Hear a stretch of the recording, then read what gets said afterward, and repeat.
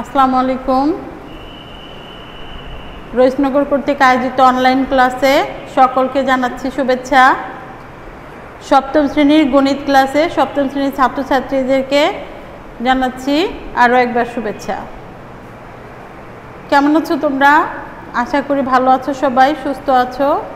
তোমরা online online ক্লাসগুলোকে follow করছ? যদি না করে থাকো, তাহলে এখনও অনলাইন ক্লাস চালু আছে, চলছে, সব ধরনের ক্লাসই তোমরা ফলো করো, লেখাপড়া কিছু কিছু করে বাসা করো, নইলে তো সব ভুলে যাবে। যাই হোক,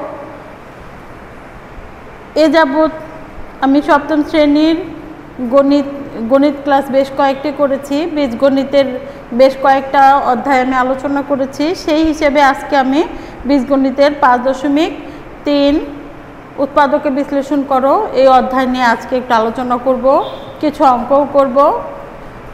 চলো, শিক্ষার্থীবৃন্দ, আমরা অঙ্ক শুরু করি।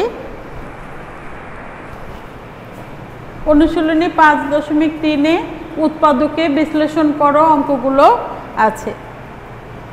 তোমরা একটা জিনিস লক্ষ্য করবে, উৎপাদকে বিশ্লেষণ করো, অঙ্কগুলিতে নির্দিষ্ট কোনো নিয়ম ফলো করা হয় না। অর্থাৎ বিভিন্ন নিয়মের প্রয়োগ করে উৎপাদকে বিশ্লেষণ করতে হয়।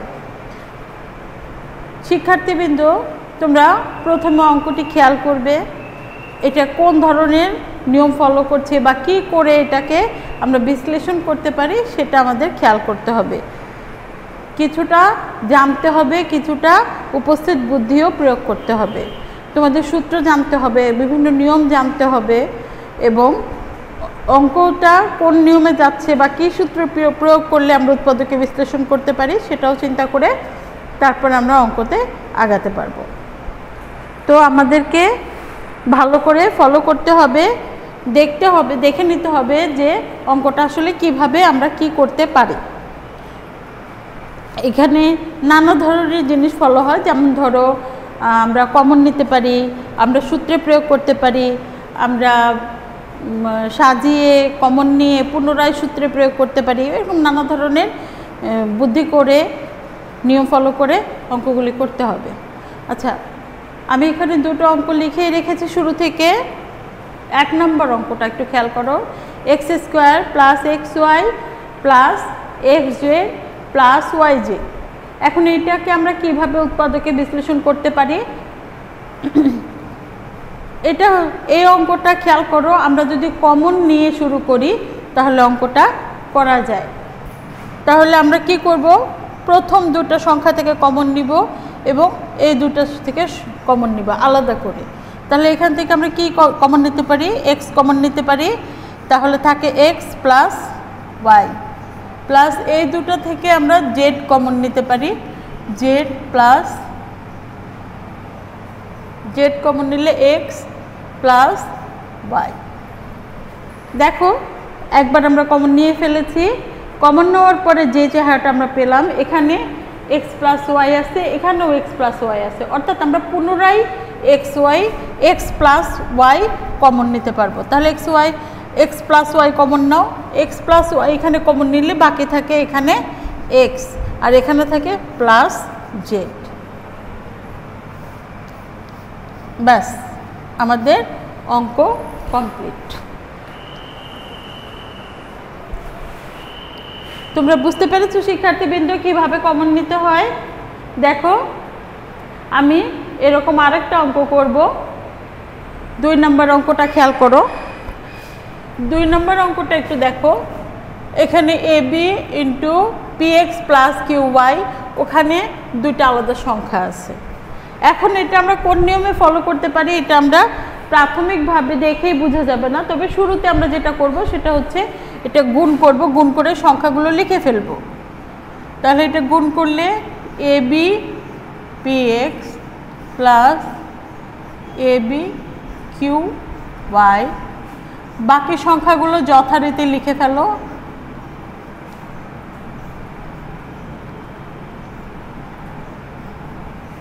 আচ্ছা। এখন দেখো, আমরা যদি কমন নিতে চাই, তাহলে আমাদের মাথায় রাখতে হবে যে, প্রথম আমরা কমন নেওয়ার পরে পরবর্তী এমন সংখ্যা পাই যে তাদের ভিতরেও কমন থাকে এই অঙ্কটার মতো। প্রথমবার যখন আমরা কমন নিলাম, তারপর দেখা গেল যে সংখ্যাটা আমরা পেয়েছি সেটাও কমন যায়। ঠিক অ্যাজ ইট ইজ ওটাও ওরকম করতে হবে। আমাদেরকে এমনভাবে কমন নিতে হবে যে পরবর্তী লাইনেও যেন কমন থাকে।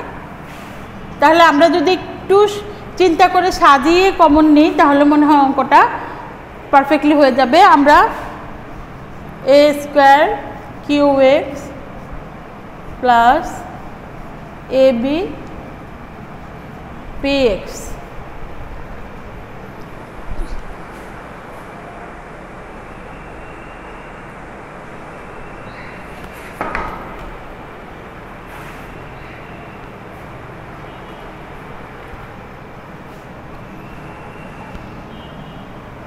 তারপর a b q y plus b square p y. আমরা এইভাবে সাজিয়ে নিলাম। এবার আমরা কমন নিব। এই দুটার ভিতর থেকে কী কমন যায়? দেখো, এ কমন যায়, এক্স কমন যায়। A R A x common যায়। এ এক্স কমন গেলে এখানে থাকে এ আর কিউ। প্লাস এখানে থাকবে বি পি। এখানে দেখো বি কমন যায় আর ওয়াই কমন যায়। তাহলে এখানে থাকবে a q plus b p. দেখো, শিক্ষার্থী বন্ধুরা, আমরা আমাদের পরবর্তী কমন সংখ্যাও পেয়ে গেছে। এখানেও এ কিউ প্লাস বিপি ওখানেও এ কিউ প্লাস বিপি পাওয়া গেছে। তাহলে আমরা সেটা আবার কমন নেই। A q plus b p এটা যদি আমরা কমন নিই, তাহলে এখানে বাকি অবশিষ্ট থাকে a x plus b y তাহলে এটাই এইভাবে তোমরা একটু বুদ্ধি করে সাজিয়ে বুদ্ধি করে কমন নেবে। যাতে পরবর্তী সংখ্যাটাও কমন যায়, তাহলে আমাদের অঙ্কটি মোটামুটি ঠিকভাবে হয়ে যাবে। তা আশা করি কমন নেওয়ার ব্যাপারটা তোমরা বুঝতে পেরেছ। আচ্ছা উৎপাদকে বিশ্লেষণে শুধু কমন নেওয়াই না আরও অনেক ধরনের অঙ্ক আছে। চল আমরা পরবর্তী অন্য কোনো নিয়মের অঙ্ক এখন দেখি।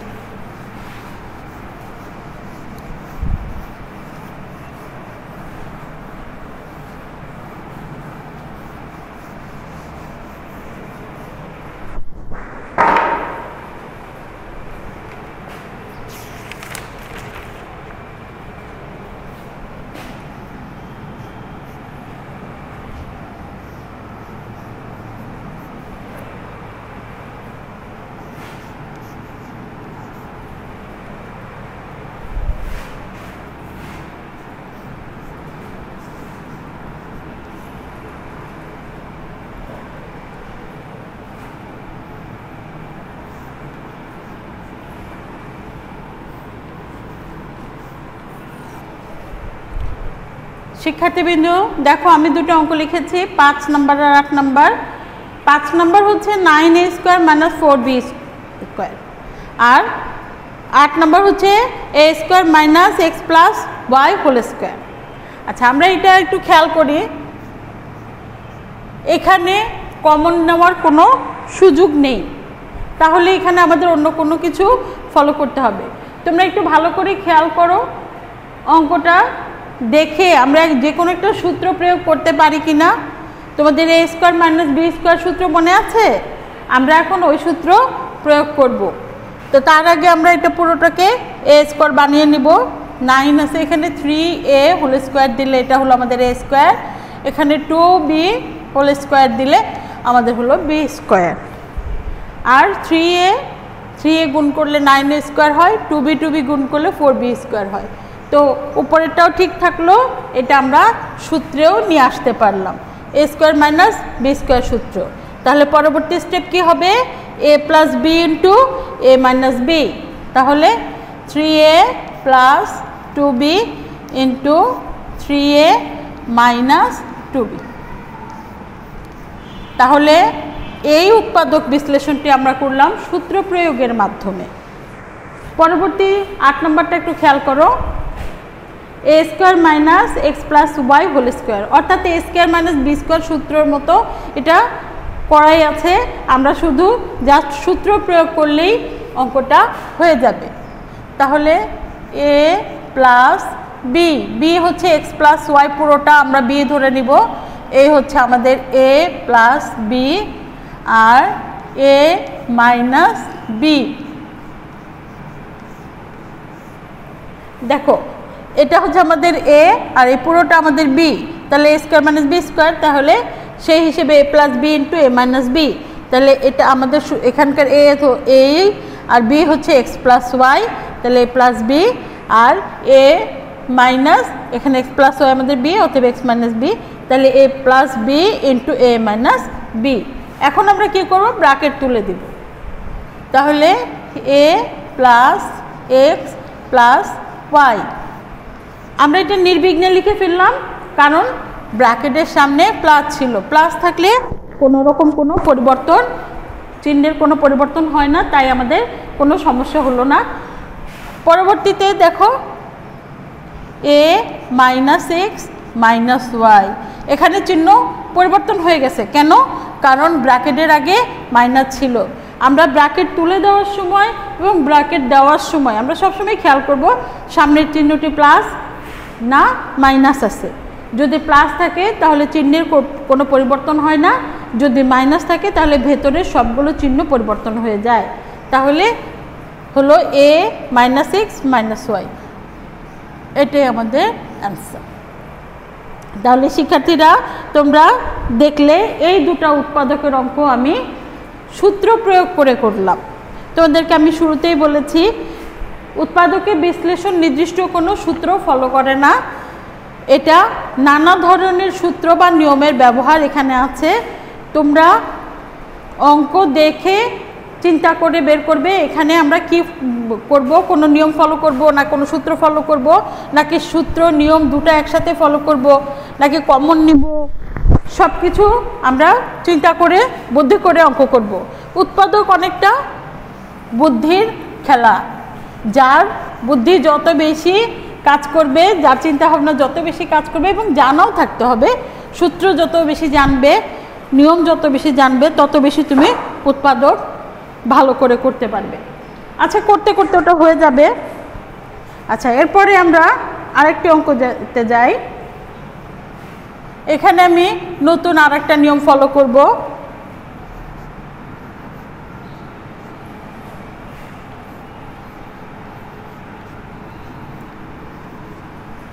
দেখো, এখানে অঙ্কটা হচ্ছে two a square plus six a minus eight minus eighty হ্যাঁ।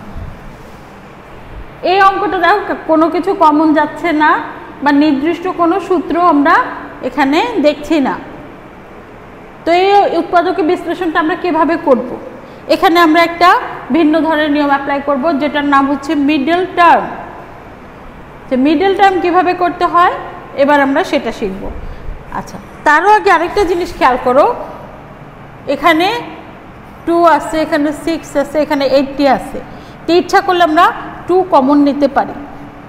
তাহলে টু কমন নিলে এখানে থাকে a square plus three a minus forty এখন এই ভেতরের এইটুকুকে আমরা মিডল টার্ম করব। এটা টু কমন না নিয়েও করা যায়। টু কমন নিয়েও করা যায়। টু কমন না নিলে পুরো সংখ্যাটা যা আছে তাই দিয়ে আমরা অঙ্ক করব। এতে একটু অঙ্কটা বড় হয়ে যায়, জটিল হয়ে যায়। আর যদি টু কমন নাও, তাহলে তোমার সংখ্যাগুলো একটু ছোট হয়ে যায়, একটু সহজ হয়ে যায়। এই আর কি। আর কোনো এছাড়া আর কোনো পার্থক্য নেই। তুমি ইচ্ছা করলে যেমন আছে অমন ধরেই উৎপাদকে বিশ্লেষণ করতে পারবে। ইচ্ছা করলে টু কমন নিয়ে অঙ্কটাকে একটু ছোট করে, সংখ্যাগুলোকে একটু ছোট করেও করতে পারবে। আচ্ছা যাই হোক, এখন আমরা এটাকে মিডল টার্ম করব।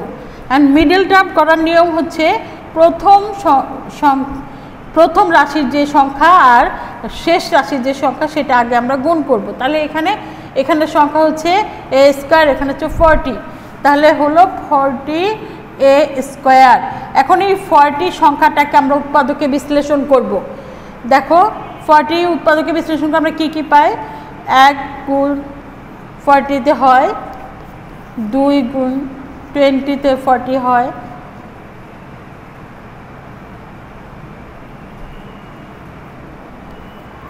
চার গুণ টেন দিলে ফর্টি হয়, ফাইভ গুণ এইট দিলে ফর্টি হয়।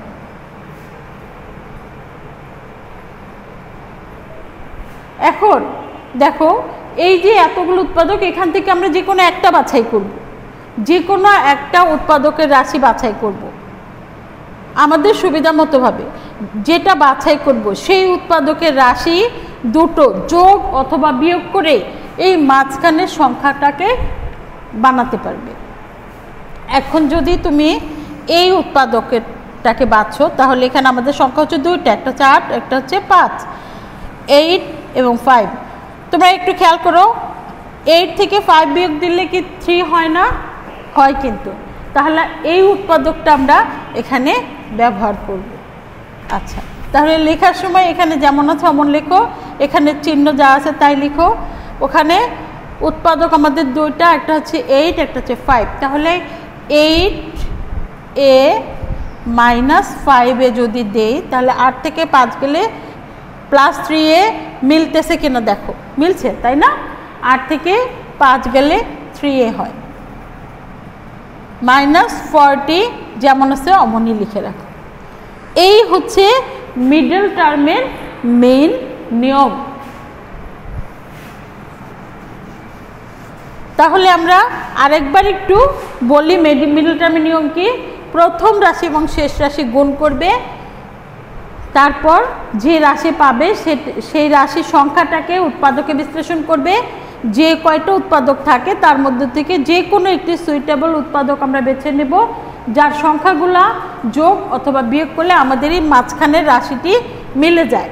যদি তাই হয়, তাহলে আমরা এভাবেই উৎপাদককে বিশ্লেষণ করে অঙ্কটা ঠিকভাবে করতে পারব। তাহলে আমরা পাঁচ আটা চল্লিশ এই উৎপাদকটা ব্যবহার করে, এই উৎপাদকের রাশিগুলোকে ব্যবহার করেছি। আট থেকে পাঁচ গেলে থ্রি এ হয়। ব্যাস, আমাদের উৎপাদকে মিডল টার্মের প্রথম কাজটা হয়ে গেল। এবার দ্বিতীয় কাজ হচ্ছে কমন নেওয়া। প্রথম দুই সংখ্যা থেকে কমন নেওয়া পরের দুই সংখ্যা থেকে কমন নেওয়া তাহলে এখানে এ কমন নিলে এ প্লাস এইট হবে, এখানে মাইনাস ফাইভ যদি কমন নাও, তাহলে এ প্লাস এইট হবে। এখানে যেহেতু মাইনাস কমন নেওয়া হয়েছে, সামনে মাইনাস আছে, তাই এখানে ভেতরের চিহ্ন পরিবর্তন হয়ে গেল। এখন এই লাইনে খেয়াল করো এ প্লাস এইট দুই জায়গাতে আছে, অর্থাৎ এখানে আমরা এ প্লাস এইট কমন নিতে পারব। যথারীতি টু সামনে রাখো এ প্লাস এইট কমন নাও। তারপর বাকি থাকে কি? এ মাইনাস ফাইভ ব্যাস, আমাদের মিডল টার্ম কমপ্লিট শিক্ষার্থী বন্ধুরা, তোমরা কি বুঝতে পেরেছ? বাসায় বেশি বেশি করে প্র্যাকটিস করবে, তাহলে তোমরা বুঝতে পারবে। আমি আরেকটি মিডল টার্মের অঙ্ক তোমাদেরকে করে দেখাচ্ছি।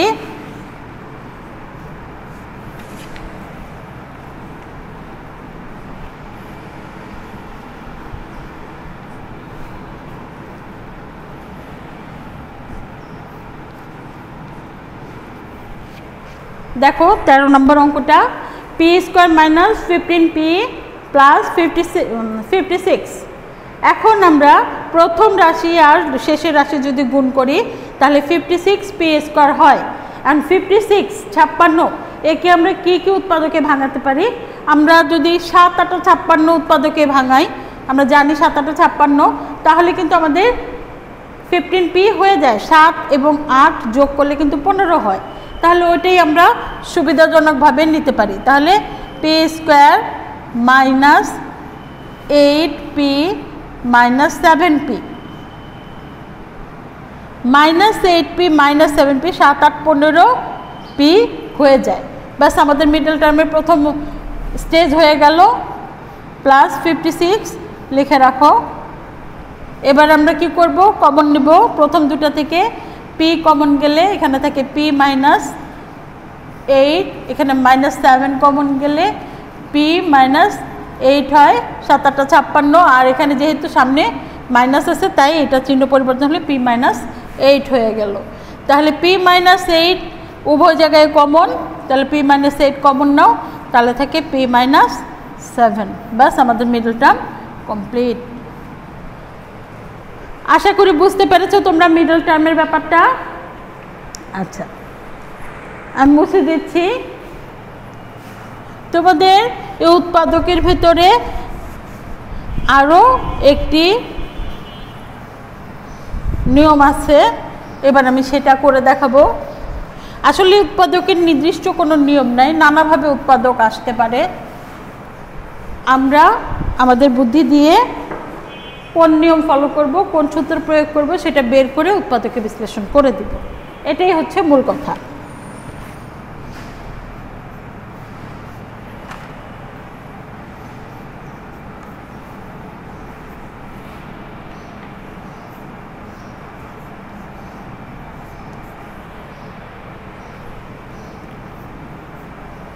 দেখো এই অঙ্কটা আমরা কি করতে পারি? এখানেও আমরা যদি স্কার এখানে রাখি আর এই তিনটে রাশিকে আমরা যদি একসাথে আনতে পারি, তাহলে আমরা একটা সূত্রে নিতে পারব। তাহলে মাইনাস দিয়ে কমন দিয়ে কমন নাও তাহলে b square minus two b c plus c square হয়। যেহেতু মাইনাস সামনে আছে তাই এর প্রতিটি চিহ্ন পরিবর্তন হয়ে গেল। এখন তোমরা খেয়াল করো b square minus two b c plus c square এইটুকু আমরা a minus b whole square সূত্রে নিতে পারি। এই জন্য আমরা এভাবে একটু কমন নিয়ে নিলাম। তাহলে এটা এ স্কোয়ার যেমন আছে লিখে রাখো, এটা b minus c whole square এখান থেকে আমরা সূত্রে আসলাম। এখন দেখো তো এটা a square minus b square সূত্রে যায় কি না ওরকম একটা চেহারা দাঁড়িয়ে গেছে। তাহলে আমরা এটা এখন a square minus b square সূত্রে নিব। এটা আমাদের এ এটা আমাদের বি বি মাইনাস সি পুরোটাই আমাদের বি তাহলে একবার যোগ, একবার বিয়োগ। তাহলে a plus b minus c তাহলে হলো আমাদের a plus b R a minus b minus c তাহলে a plus b into a minus b হয়ে গেল। এখন আমরা ব্র্যাকেট উঠিয়ে দিব। A plus b minus c আর এখানে a minus b plus c যেহেতু এখানে মাইনাস আছে ব্র্যাকেটের সামনে, তাই মাইনাস উঠিয়ে দেওয়ার সময় ভিতরে চিহ্ন পরিবর্তন হয়ে যাবে। ব্যাস, আমাদের এই অঙ্কটিও কমপ্লিট তাহলে দেখো, শিক্ষার্থী বন্ধুরা, আমরা কি করেছি? শুরুতে আমরা একটু সাজিয়ে সাজিয়ে নিলাম যে এইটুকু আমরা যদি আলাদাভাবে কমন নিতে পারি তাহলে আমরা একটা সূত্রে নিতে পারব। তো এখানে মাইনাস কমন নিয়েছি, নিয়ে এগুলোকে ব্র্যাকেটের ভিতরে রেখেছি। এটা b square minus two b c plus c square হলো, অর্থাৎ a minus b whole square সূত্রে গেল। তো আমরা সেই হিসেবে এখানে b minus c whole square পেয়েছি। এটা করার ফলে আমাদের a square minus b square সূত্রে আমরা পরবর্তী স্টেপ নিতে পারব। তাহলে পরবর্তী স্টেপে a plus b into a minus b ব্যাস। আমাদের অঙ্ক কমপ্লিট তো যাই হোক, এই হচ্ছে তোমাদের পা, অনুশীলনী পাঁচ দশমিক তিনের উৎপাদকে বিশ্লেষণ করো। মোটামুটি এই নিয়মগুলোই তোমাদের সপ্তম শ্রেণির উৎপাদকে বিশ্লে ব্যবহার করা হয়েছে। এর উপর ভিত্তি করেই নানা ধরনের অঙ্ক আসবে। তোমরা বাসায় ভালো করে প্র্যাকটিস করবে এবং অঙ্ক দেখে ঘাবড়ে না গিয়ে একটু চিন্তা ভাবনা করে বুদ্ধি প্রয়োগ করবে কোন সূত্রে নেওয়া যায়। কোন নিয়ম অ্যাপ্লাই করা যায় এটা খেয়াল করবে, তাহলেই দেখবে যে তোমাদের সুন্দরভাবে উৎপাদকের বিশ্লেষণ হয়ে গেছে। যাক, তাহলে আজ আজ এই পর্যন্তই। সামনে আবার নতুন কোনো অধ্যায় নিয়ে আলোচনা করব। সেই পর্যন্ত তোমরা ভালো থেকো, সুস্থ থেকো, স্বাস্থ্যবিধি মেনে চলো এবং আমাদের জন্য দোয়া করো। ধন্যবাদ সবাইকে।